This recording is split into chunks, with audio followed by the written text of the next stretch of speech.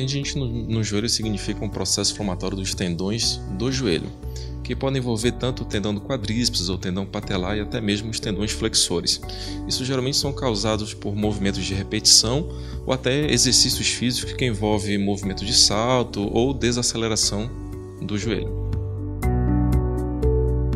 dor anterior no joelho, associado com um quadro de inchaço ou edema, e pode também haver uma limitação durante a atividade física. Basicamente, na fase aguda, é você melhorar esse quadro de dor, então pedir para o paciente reduzir essa atividade que ele anda fazendo, fazer o uso de anti-inflamatórios, analgésicos, compressa de gelo, né, crioterapia,